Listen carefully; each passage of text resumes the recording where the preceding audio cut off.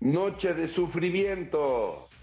Noche de selección mexicana ante Estados Unidos. Ahí estaremos seguramente casi todos viendo este partido.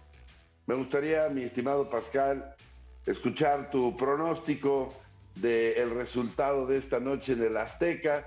50 mil aficionados, México ante Estados Unidos. México en caso de ganar prácticamente obtendría matemáticamente su boleto a el Mundial, pero el rival no es fácil. Va a ser 2-0, pero a favor de México. Bien, muy bien. Yo dije 3-1 ayer y me mantengo. 3-1 gana Les México. vamos a poner el 2-0. Estaría genial. ¿Eh? Me gustaría mucho tu, tu manera de pensar. Pues total, que ser optimistas no cuesta, mi querido Pascal. Hay que ser optimistas siempre hasta el Está final. complicado, ¿eh? Está complicado, está complicado, pero bueno, es, es, es mi pronóstico. Ojalá que así sea. Y está más complicado por las necesidades del Tata Martino, que ha tenido ideas muy fijas, que convoca jugadores y los pone a jugar que no necesariamente están en su mejor momento.